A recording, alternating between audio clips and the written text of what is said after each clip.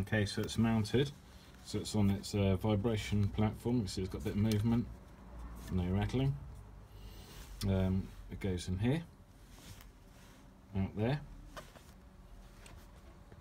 um, round the back of the power steering, uh, power steering ABS stuff, and then it goes into into um, the right hand side of that solenoid there with cooling written on it, then out of the left hand side and into that charge pipe there. Um, it is activated by this pressure switch here. Boost goes in there. That connects that one to that one. That one is going to go to the main loom. So the voltage will go in there, out there, into the pump, also into the solenoid to open that up, and they're all commonly grounded. So hopefully that'll work.